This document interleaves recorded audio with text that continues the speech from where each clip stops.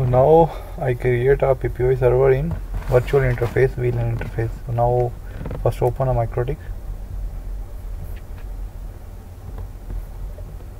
go to interface. Check which which interface available. Means if I create first I create a virtual interface VLAN on interface Ethernet 4 go to VLAN tab plus. Uh, anything name like a VLAN 10 okay VLAN 10 port Ethernet 4 okay VLAN 10 go to triple P. Go to first IP pool. Create uh, one new IP pool. Like IP pool name is uh, 5 MB uh, 2 MB okay.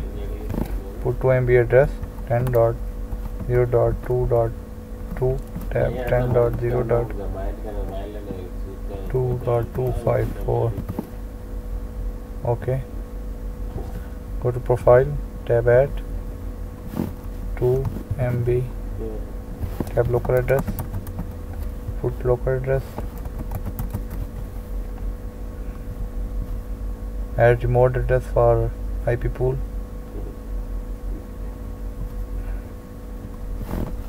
add DNS server. For Resolve websites.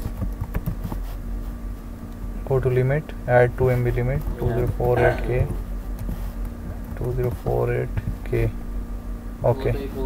Go to PPPoE server create a profile PPPoE server. Tap add. Anything any name. Like uh, a VLAN 10 add VLAN 10 interface insert MTU check this. Okay.